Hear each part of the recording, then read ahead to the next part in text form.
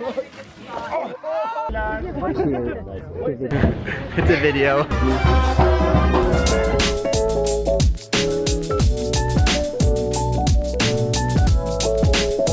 Good morning. Good morning. Where are we going? Uh, breakfast. I don't know where. Bonjour. Can't even see you. Be gone in a day or two. Buenos dias. Are you camera shy? No, Morning. but I look like this, yeah. We finished our delicious breakfast, and then us and a huge group of people hopped in a van to go on a trip that's after the Polyglot Conference, but still kind of part of it, to Tochimilco. Once we arrived, we parked both of our vans and then headed straight to the market because who doesn't love food? it was a great market, lots of delicious food, fresh fruit, really sweet ice cream, and a ton of baked goods. Do, do, do. Which one do I want? Doesn't matter. Gracias. Espantamos las moscas. Muchas gracias. Then we were each given some cempasuchil flowers and a candle because we were heading up the hills to go meet a bunch of local families and visit their ofrendas. Now these cempasuchil petals are leading the way to the ofrendas, and here are some examples of ofrendas. An ofrenda is an altar that Mexican families build in their homes um, for Dia de los Muertos, or Day of the Dead, to honor and give offerings to their loved ones who have passed on. And this ofrenda was extra special because everything you see is made entirely of bread. And Because I'm vegetarian, the locals wouldn't let me starve, so I got some nice rice in bread.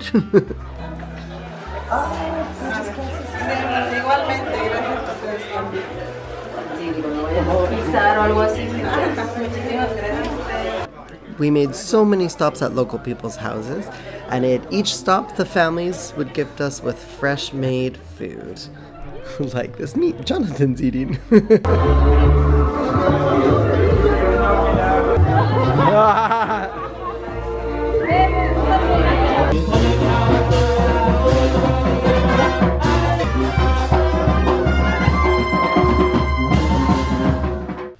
and after lots of dancing and our bellies very full, we went to visit this farm, which had lots of cute animals.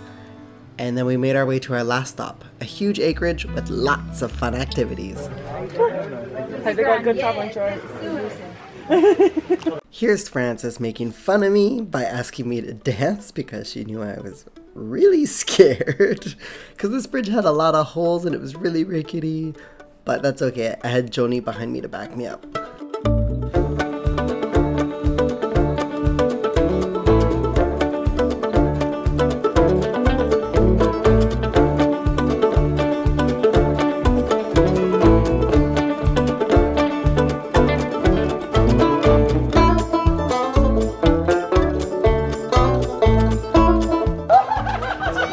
嗯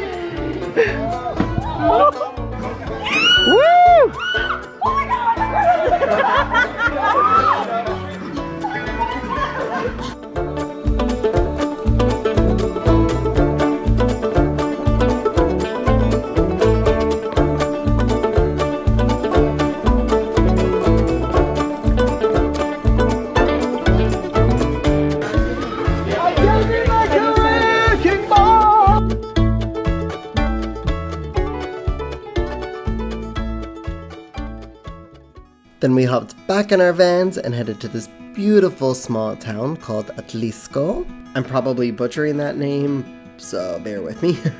but this town was super cute. All the buildings were crazy colorful, and there was art on all of the walls. And because the town is so cute and so beautiful, so colorful, everybody was coming to visit it for their holidays for Dia de los Muertos.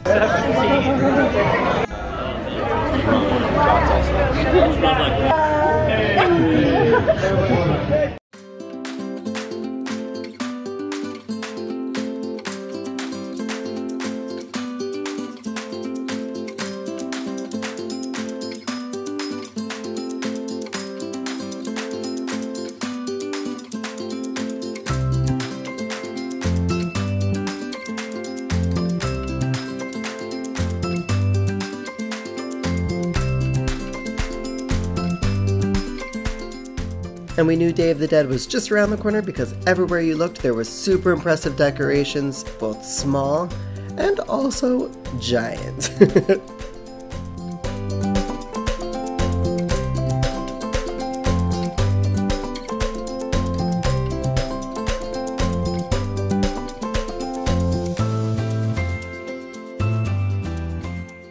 The next morning was our last morning in Cholula, so we went to the market because I needed to buy a bag, and then we got together for one big last family meal. I miss those guys. and then we took a real quick walk through the Panteon or the graveyard to really experience what Day of the Dead is like in Mexico. And because it was so hot out, even in November, we had to stop and get some popsicles. And because the whole time we were in Cholula, we were unable to see the volcano, Popocatépetl, so we decided to go up the pyramid one last time, feed some squirrels on our way, and sure enough, there he was, el abuelo, Grandpa Popocatépetl, looking over Cholula, steaming, beautiful volcano. and then it was time to head to Mexico City.